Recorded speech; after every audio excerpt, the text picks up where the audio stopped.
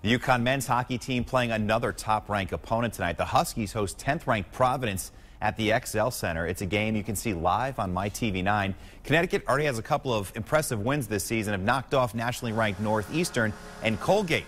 Playing in the Hockey East, one of the toughest conferences in college hockey, means you're going to get everyone's best shot every night. Head coach Mike Cavanaugh likes the direction his program is headed. Yeah, baby! Yep! Yeah, baby!